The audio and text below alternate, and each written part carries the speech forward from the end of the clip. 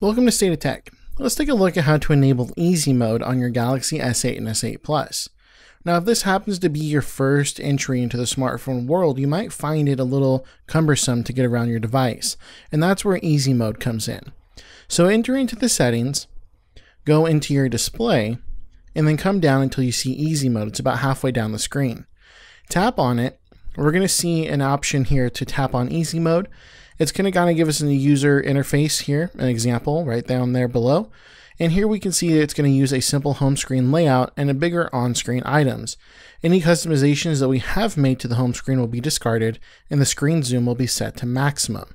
So now we're going to go ahead and tap apply, give it just a second to adjust.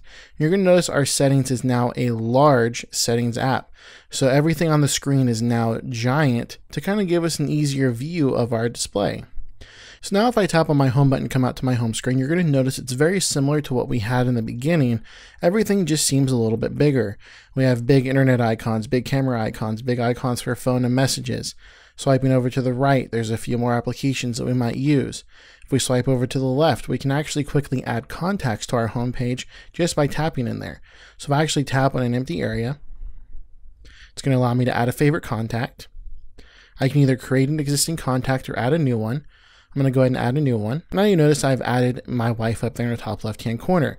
So now that I have her added out there, if I just tap on it, I'm actually going to be able to quickly call or text message her directly from within this icon. And if I swipe over to the left one more time, I still have access to Bixby.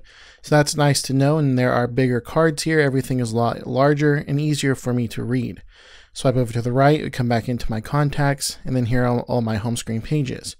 You'll also notice it has given us a button for the app drawer, and all the icons in the app drawer are a lot larger as well.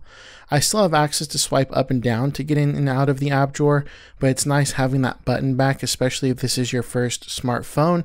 It is nice to kind of have everything laid out to you very plainly, so that way you can get in there and out of there very quickly. And to access the settings, we can either come over to the settings icon, or we can even still swipe down and access the settings via that way.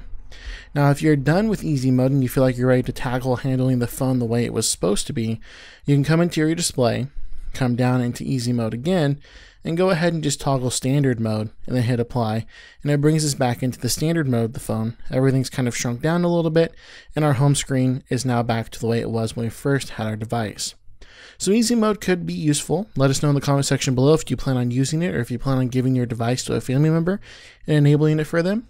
For more videos like this, be sure to subscribe to State of Tech, give us a thumbs up to let us know you like this video, and we'll see you in the next one.